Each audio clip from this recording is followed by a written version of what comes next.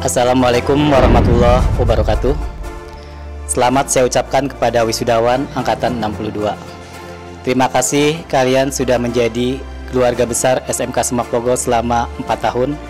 Telah mewarnai kehidupan kami, telah menjadi penyemangat kami, dan telah menjadikan kami merasa menjadi seseorang yang berguna dan berharga. Sekarang saatnya kalian menggapai impian, tunjukkan bahwa lulusan Semakwo itu beda. Sekarang tantangan hidup itu menjadi lebih besar, dan saya yakin kalian sanggup mengatasinya. Jadilah apa saja dan siapa saja, tetapi jangan lupa kalian harus tetap memiliki budi pekerti yang luhur dan berakhlak mulia. Terima kasih. Assalamualaikum warahmatullahi wabarakatuh.